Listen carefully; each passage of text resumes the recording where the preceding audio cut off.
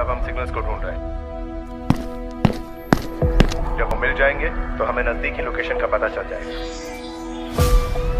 तुमने जो किया है पता है किसके साथ किया है? कौन? तेरे लिए शॉकिंग है।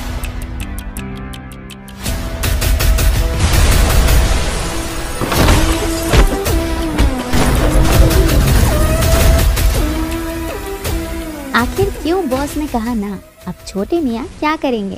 नमस्कार दोस्तों, मैं आपकी दोस्त और होस्ट रोशीन आपका स्वागत करती हूँ आपके ही पसंदीदा चैनल बॉलीग्राफ स्टूडियोज में। पिछले वीडियो में हमने आपको बताया कि कैसे बड़े मियाँ अपने जिगरी दोस्त छोटे मियाँ को उसके प्यार दिलाने में मदद करते हैं।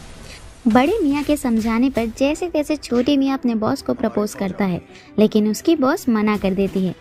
तो अब देखना ये होगा कि क्या यहाँ पर छोटे मियाँ के प्यार का अंत हो जाएगा या बड़े मियाँ कोई और तरकीब निकालेंगे। जब बड़े मियाँ को पता चलता है कि छोटे मियाँ लखन के बॉस ने उसके प्यार को रिजेक्ट कर दिया तो वो सबसे पहले छोटे मियाँ से कहते हैं कि जाकर वो अपने बॉस से इस ना के पीछे का रीज़न पूछे। बहुत समझाने पर छोटी मियाँ छुपके से अपने बॉस के घर जाते हैं। उसकी बॉस पहले तो गुस्सा करती है और फिर उसे कहती है कि क्या ये तरीका है लड़की को प्रपोज करने का। ऑफ़िस में सभी लोग उसे देखने लग गए थे और वो काफ़ी एम्बेरस्ड हो गई थी।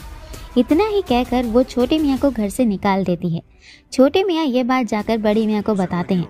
तब बड़े मियाँ समझ जाते हैं कि छोटे मियाँ के बॉस को छोटे मियाँ से नहीं, बल्कि उनके प्रपोज करने के तरीके से दिक्कत है, जिसके बाद वो एक क्रूज पर रोमांटिक डेट का इंतज़ाम करते हैं और छोटे मियाँ और उसकी बॉस को वहाँ भेज देते हैं। धीरे धीरे छोटे मियाँ अपने बॉस से अपने प्यार का इजहार कर देता है और उसकी बॉस भी हाँ कर देती है। इस तरह लखन यानी कि छोटे मियाँ को उसका प्यार मिल जाता है और बड़े मियाँ का काम भी पूरा हो जाता है। फ़िलहाल, हमारी आज की ये वीडियो यही ख़त्म होती है। हमें ज़रूर कमेंट पे बताएँ कि आपको ये कहानी कैसी लगी। साथ ही साथ आपके लिए एक इंपॉर्टेंट न्यूज़ अगर आप भी सिनेमा की दुनिया से जुड़ना चाहते हैं और काम करना चाहते हैं तो डिस्क्रिप्शन बॉक्स में दिए गए जॉब लिंक पर क्लिक कीजिए और इस अपॉर्चुनिटी का भरपूर फ़ायदा उठाइए। उम्मीद है आपको आज की वीडियो पसंद आया होगा। तो ऐसे ही वीडियो को देखने के लिए हमारे चैनल को सब्सक्राइब करना बिल्कुल ही मत भूलिएगा। मिलते हैं अगली वीडियो में, तब तक के लिए नमस्कार।